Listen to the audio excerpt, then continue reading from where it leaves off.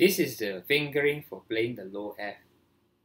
With the left hand, close the first three holes with the left finger, 1, 2, and 3. Then close the thumb hole completely with the thumb. With the right hand, close the first, third, sorry, close the uh, fourth, sixth, and seventh holes like this using the first, third, and fourth finger. This is the low F.